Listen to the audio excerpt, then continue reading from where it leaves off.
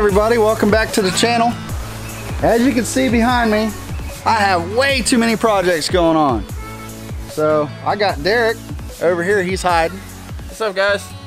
So we're gonna finish up this Predator project and we're gonna get this thing out of here and we'll have this one done. So, all right, Hallelujah. we'll see you in a second. What we're doing today on this is we're gonna go ahead and replace this brake line. Um, you guys heard me talk about it in the last video.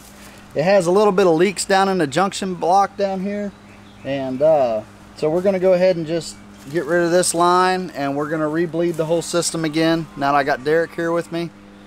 And uh, yeah, so we'll do that and we're gonna do a top speed today. So that'll be fun. Um, the carburetor's still a little bit rich. We're gonna take, I think a half a turn out of it is what it's gonna be as rich as it is. So, all right, we'll be right back with you.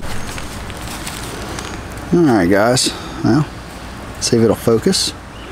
This is the Polaris part number, okay? This is for the front main brake line for the front brakes. We have a quarter inch for the bleeder screws.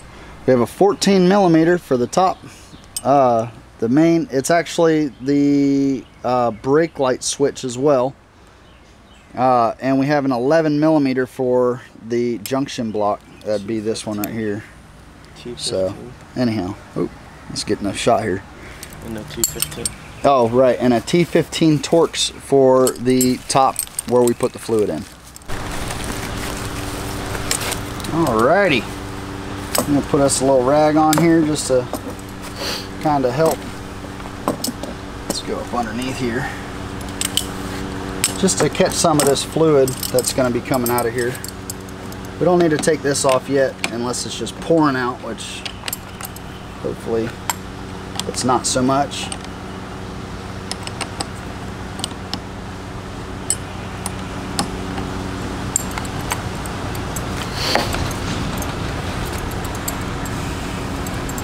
So I didn't order any crush washers and I'm just thinking about that right now. I probably should have, but I didn't. Oh well. It happens. So I'm just going to disconnect that and I'm going to put the new one right on there and go straight back on with it. Oh, these crush washers are have rubber in them too, so that's pretty cool. Did that go the other way? Went the other way, didn't it? Yeah. Wait, no. No. Leader right there. It's just bent a little different way from being rolled up. This is going to go down like that, right? Yep.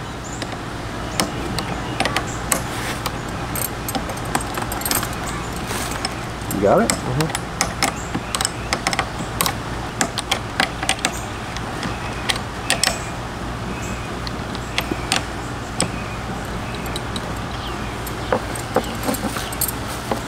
Good. All right, there's that part. Now, fish it around and match the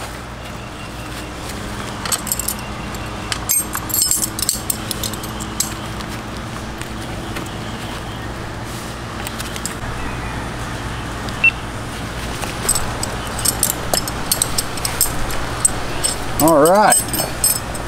Well, now we're down here in the bottom. We've got to get this little filler off.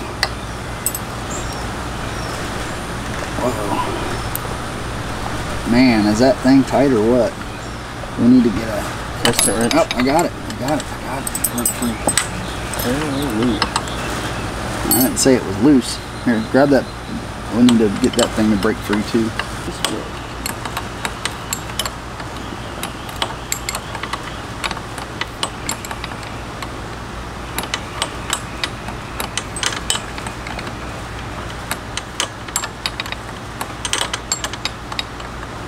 So this is this is also where we are going to um,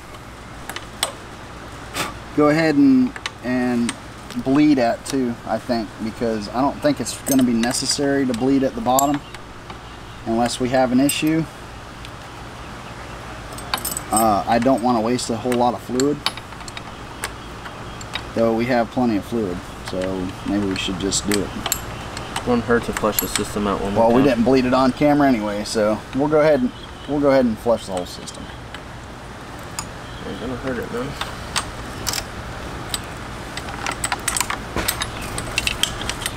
All right, now for the hard part.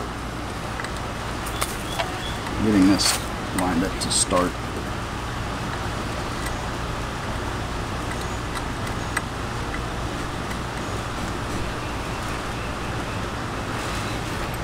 When I'm starting these things, I don't worry about orientation. I'll worry about that once I get a few turns in there. See, I got it started now. So I can just go as far as I can with my fingers and then I can get it oriented the way that it needs to be. I think that looks pretty good. See the line here. There's left the radiator and all that good stuff. Uh-huh. I would not get way crazy with tightening this thing down just yet. All right, you want to go ahead and pump me up some pressure there, Derek? Oh, we got to take the top off first. Yep. All right.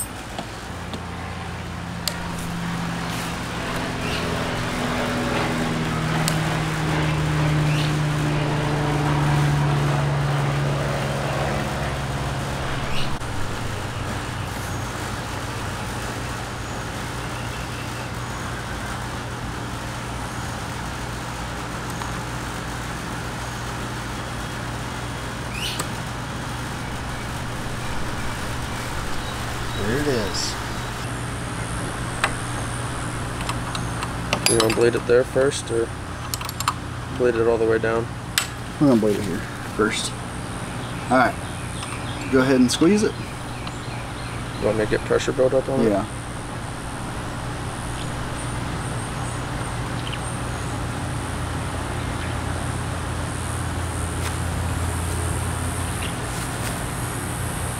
Air bubbles. All right, just hold it. Hold. We gotta get past that plateau. Okay, go ahead. You just hold it again. Hold. I'm getting some air coming out. It's gonna be a slow start. All right, go ahead.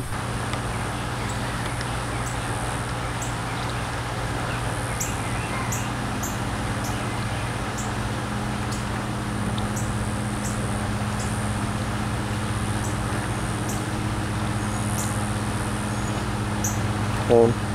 Well, that was a good bit. I ain't getting no air out of that one. No, I got a nice air pocket up here. Yeah. Too. Might have to bleed it here Yep. I think we're gonna have to bleed it up top because I'm first. still not getting no pressure. All right, just hold it. Hold.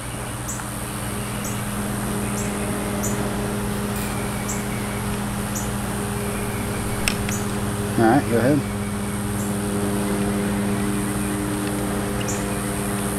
Hold.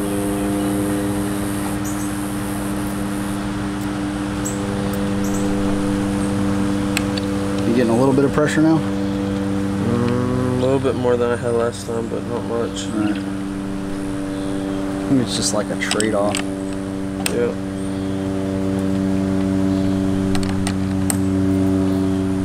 That was a good bit of air. Got to back way out for it though. All right.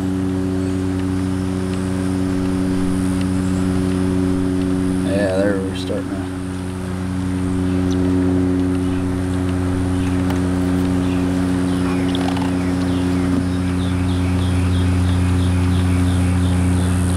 Finally see some liquid leaving the reservoir. Yeah.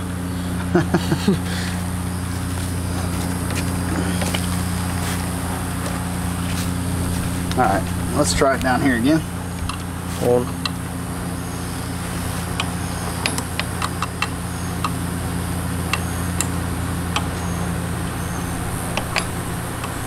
Actually got some fluid out down here.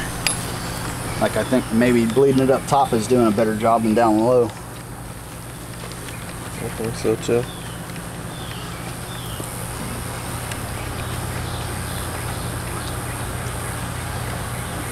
Oh, there's some pressure now. Yeah, it's starting to squirt, see? Finally. Alright, so now Alright, now you'll get some pressure down there. Because I can't even put this all the way back now. So there's some pressure on it. let's see if I can pick up what's going on there.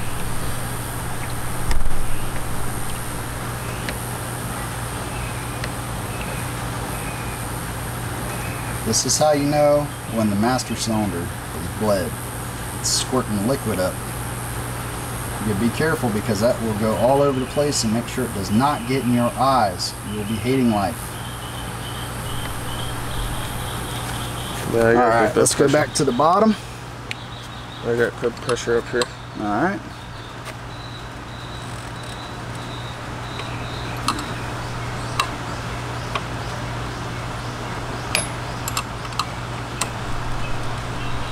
Tight.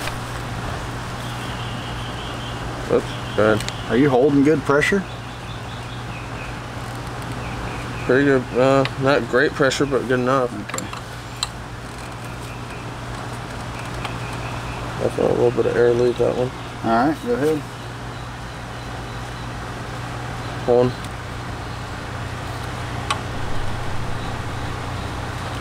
Alright, go ahead. How's your pressure up there?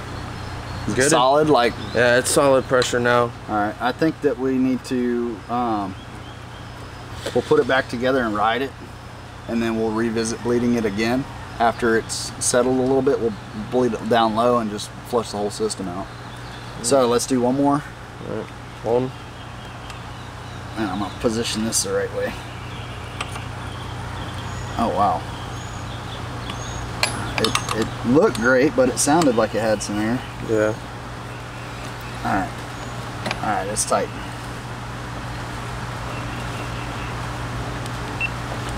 Yeah, I'm just gonna put some more fluid in here.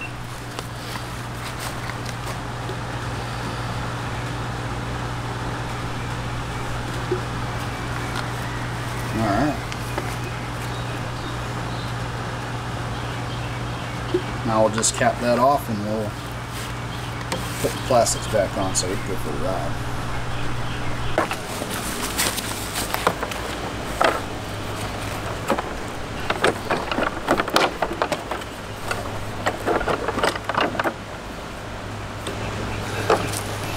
Alright, so one here. And then there's these little brackets that slide into the ones on the tank. And then I have to tighten these down because I didn't know how it came apart. So I have to put those back on. Yep.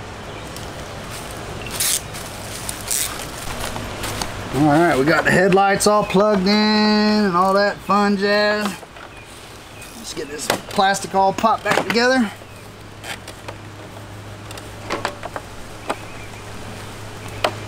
And we go for a rip. We're gonna leave the side skirts off for right this second, uh, in case we have a few more carburetor adjustments, but other than that, we're going.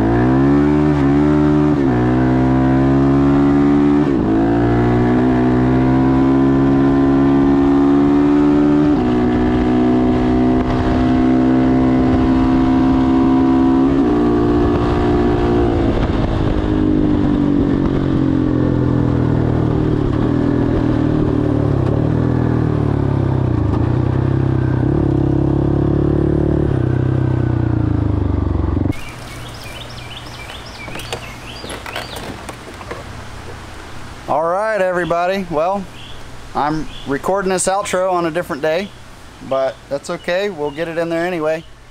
Um, I also recorded the uh, top speed, which is not really a top speed of the machine. It's just a top speed of the length of road that I typically um will get up to uh, right here. So anyhow, um, I'm sure that the machine's faster than what you guys just saw, but that's all right.